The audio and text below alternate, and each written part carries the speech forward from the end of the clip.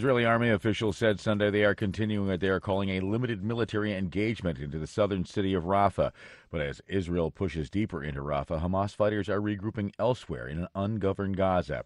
AP correspondent Karen Chammas has more. Israeli military footage showed Israeli soldiers shooting in northern Gaza as it also moved deeper into the southern town of Rafah. Israel continues to push into the town despite objections from the US and the rest of the international community. 300,000 people have fled Rafah on evacuation orders from Israel. The UN humanitarian chief Volker Turk said, So, where should they go now? There is no safe place in Gaza. The latest move has also prompted Egypt to announce it would be joining South Africa at a UN top court to allege Israel is committing genocide in Gaza. While Israel rejects the claim, Egypt released a statement citing the worsening severity and scope of the Israeli attacks against Palestinian civilians. I'm Karen Chammas.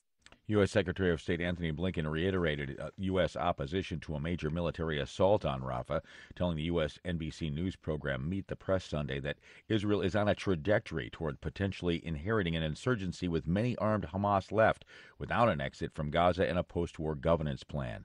Blinken urged both sides in the conflict to continue, continue pursuing a ceasefire agreement. It remains our view that the fastest way to get to a ceasefire the fastest way to get hostages home is through an agreement, and we're determined every single day to pursue that uh, and to try to get it to happen. Officials in Afghanistan said Sunday the death toll from Friday's flash floods in the northern Baghlan province has risen to more than 315, with more than 1,600 people injured. The refugee ministry announced the latest casualties through, so, through the social uh, social media. It said more than 2,600 homes have been completely or partially destroyed. This is VOA News. Former U.S. President Donald Trump's hush money trial will continue in New York this week, and former Trump attorney Michael Cohen is expected to testify.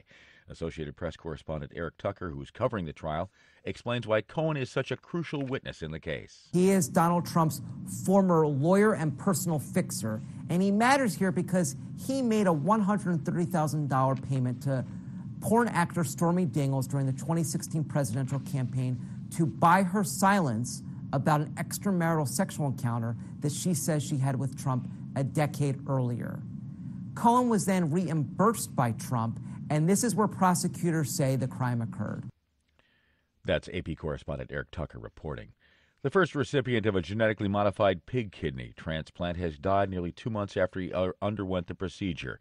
Rick, Cl- Rick Slayman was the, the, was the patient there. AP correspondent Julie Walker reports. Doctors at Massachusetts General Hospital did the procedure in March. The hospital's transplant team says it's deeply saddened, and there is no indication the 62 year old died as a result of the transplant.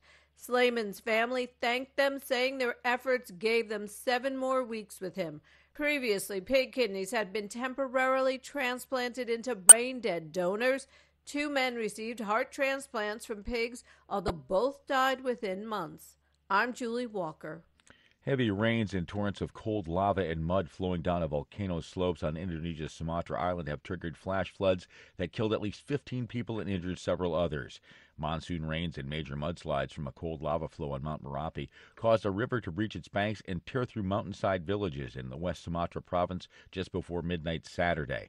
The flood swept away people and submerged more than 100 houses and buildings. Cold lava, also known as, known as lahar, is a mixture of volcanic material and pebbles that flow down a volcano's slopes in the rain. U.S. comedian Jerry Seinfeld addressed graduating students at Duke University Sunday in the southeastern U.S. state of North Carolina and made an impassioned plea for them to maintain their senses of humor throughout life.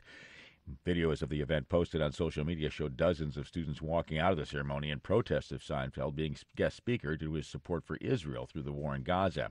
Undeterred, Seinfeld told the students he admired their ambitions and, genera- and their ge- of their generation to create a more just and inclusive society, and that they cared so much about not offending others. But, all caps, but, what I need to tell you as a comedian, do not lose your sense of humor.